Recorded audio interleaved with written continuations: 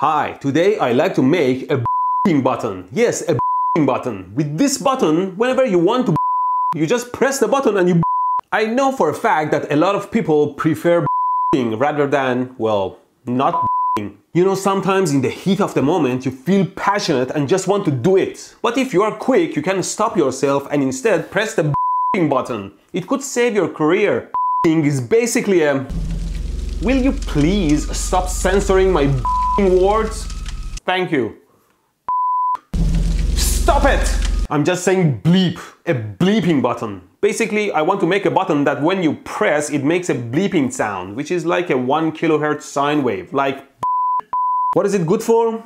I was thinking during live streams or conversations or meetings even, when you feel angry and want to swear, you can just convey your feelings by pressing the bleeping button, like holy You'll get it off your chest and feel good. Everyone knows what you mean, but you don't have to actually swear. And people can use their imagination to fill the bleep with whatever word they want. What if in their heads they fill the blank with something very offensive and you end up getting cancelled for a bleeping sound? Well, let me know how it will work for you. Now you might think, what a boring project, just a button that makes a sound? Oh yeah? Then why don't you go to my sponsor Curiosity Stream and watch a documentary instead? Seriously, Curiosity Stream is a subscription streaming service that offers thousands of superb documentaries and non-fiction titles including exclusive originals from some of the world's best filmmakers.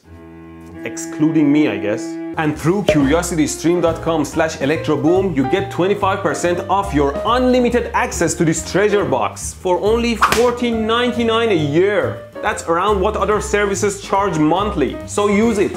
Now let's make the button anyway. To make this, a lot of people just whip out an Arduino board or something and program it to output the signal they need, which can be quite beneficial because you have the flexibility to change the shape and frequency. We are not here to do software! What? You write some code and suddenly you know electronics? You don't know a damn thing! And I still don't know how to program Arduino. So we do electronics. This is where my stash of broken junk becomes handy because in there I can find a headset out of which I can harvest a speaker. Here is the speaker. The headset speakers don't output much audio though, they are not made to yell. But let's see, I connected it to my function generator at 1 volt amplitude, which is the maximum these guys should take. And it sounds weak like when you stub your toe. But the main reason for the weakness is that this speaker doesn't have an acoustic chamber as is. An acoustic chamber, if I'm calling it right, is basically a cavity in front of the speaker with some holes that the sound comes out of all audio products must have it. As they say, what an acoustic chamber does is that it provides some impedance matching, which is basically helping to pair the very hard surface of the speaker diaphragm to the very soft surrounding air. The chamber creates an acoustic pressure in front of the speaker that provides a more gradual transition between hard to soft and maximizes the energy transfer. But every acoustic chamber has a specific resonance frequency. Just search for Helmholtz resonance to understand it better. But basically, the resonance frequency of the chamber is dependent on the volume of its cavity and the area of its opening, among other things. We naturally use this by adjusting our mouth cavity and its opening, like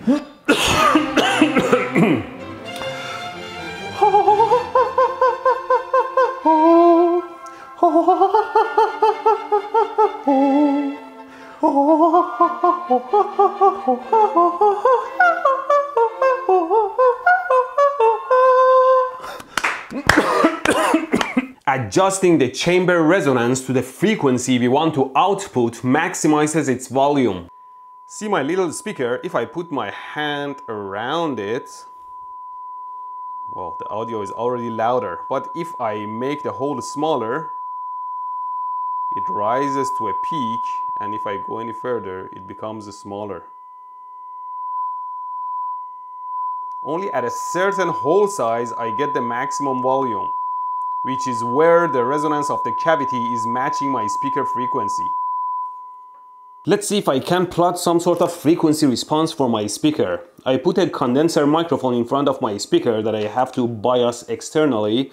I sweep frequencies from the function generator over the speaker, the microphone picks it up and scope will plot it. Of course, it's just for reference, nothing is calibrated here. There we go.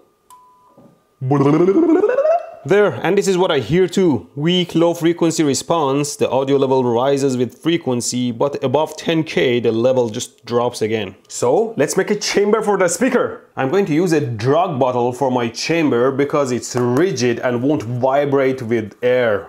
And in hindsight, I should have called it a medicine bottle.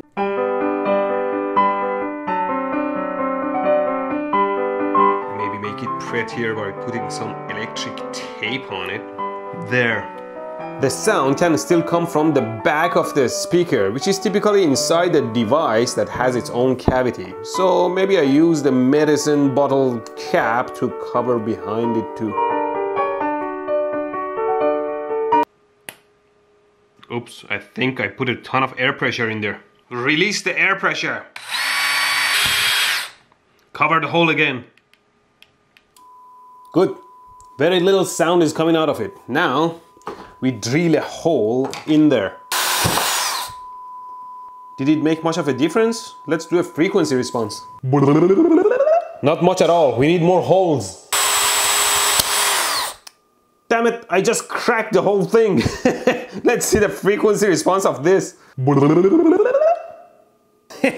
Look at this our misfortune actually created a lucky bump at around 1 kilohertz that we needed. Just listen to it. Pretty loud, eh? Well, to test a bit more, I covered more than half of the hole with some flexible electric tape and see, it pushed the peak down at 1 kilohertz and send it further towards lower frequency. Maybe a bit larger hole helps a little bit better. Yeah, I just cut the opening a little bit wider like this. Look at the massive peak at 1 kilohertz. And it seems we have some peaks at the harmonics too, which is fine. Our speaker volume without the chamber was more like this. And now it's like this. And of course now we can make it even louder by increasing the voltage amplitude. Such high voltages would typically be above the rating of the speaker and could damage it if applied continuously, but in my application I only momentarily use it. See for example here I have a 12 ohm half a watt resistor and I'm gonna put 12 volt across it which means 12 watts of power, 24 times the rating of the resistor. But if I do it momentarily, the current reading is off actually. Pick, pick. See? The resistor is still alive, but if I do it continuously, that's when the resistor gets damaged. So as long as we do it momentarily, oh, we should be fine. Here in my application, I want the chamber resonance to match my sound frequency because I want the maximum level. But in typical voice and music speakers, they push this resonance frequency outside the audible frequency band by reducing the chamber volume and increasing the hole size. This is because we typically want a flat response, not a bulge erected in the middle of our pant band. Now it's time to drive this circuit. I'm gonna put a simple circuit together and then I'll explain it.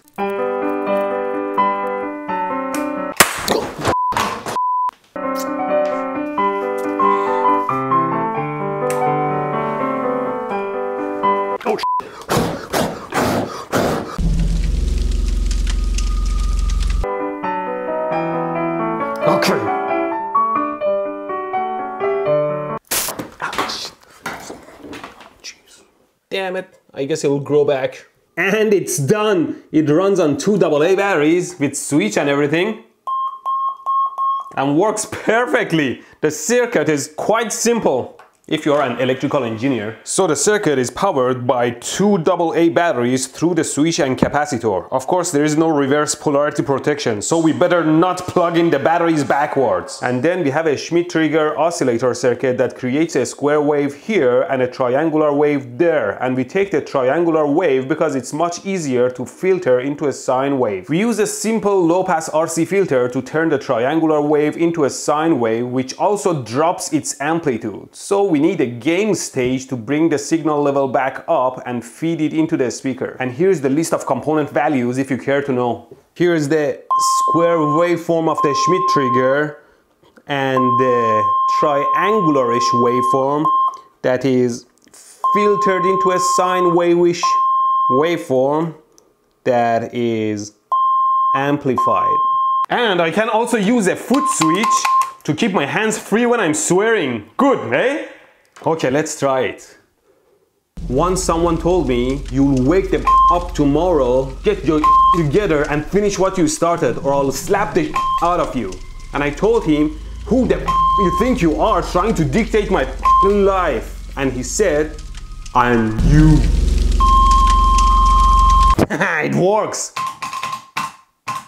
See, there you thought it was a simple project and yet you learned a ton from it. And you'll learn a ton more if you visit my sponsor Curiosity Stream. I especially found this documentary on the history of electricity quite interesting. It shows those primitive awesome experiments we don't do much anymore and really brings me back to the roots of electricity and gives me some good video ideas too.